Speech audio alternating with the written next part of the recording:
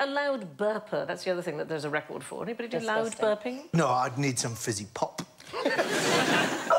Oh, Sally. That's it. That sounds like Good a frog God. with asthma. That is, something, that is something I never thought I would see. In my, if you start lighting your farts, it's, un- it's unbelievable. I, I see you missed one of the shows. Can you imagine if this was just Ross Noble's dream? Slipknot are on QI, Sandi gets out, she's hosting now, she burps, then she lets it like... Is this actually happening? well, the world's the world's two loudest burpers, and I like that it's come down to two, are currently locked in a duel. Uh, the record was set by a man from Essex, surprisingly.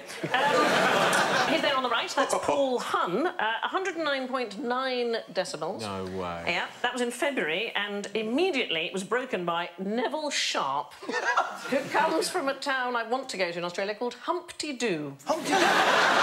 Yeah, I've, have you been to yeah, Humpty Humpty Doo. Yeah, you? yeah, and they had that guy on the telly, Right. And they were going, "We've got the loudest burper," and you know, he's like, and he was, yeah, because you know, slow, slow news day. and they went, "Do one for us now," but like me, he needs to build up to it, and he couldn't perform that time in the morning. Oh, no. And everyone was going, "Oh, not sure if you really are any good at it."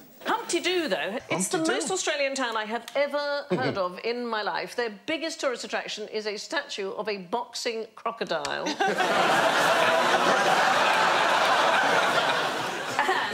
they're famous for the Humpty Doo virus. It's a virus for kangaroos, and it's named after Humpty Doo. So anyway, Neville Sharp beat Paul... This is the exciting battle between the two burpers. Neville Sharp beat Paul Hunn, and the day after, Paul, from Essex, broke back. He broke back with 117.9 Oh, he's, he's got that wrong. That's the other end.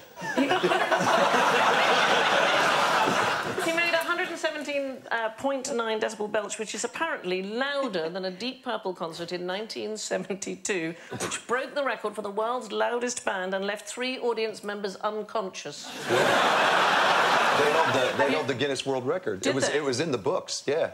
So that became the goal for everybody, and then Motorhead broke that, and now apparently a man's throat has done Yeah, the same. it's That's- louder. Uh, what the hell am I doing? But would they?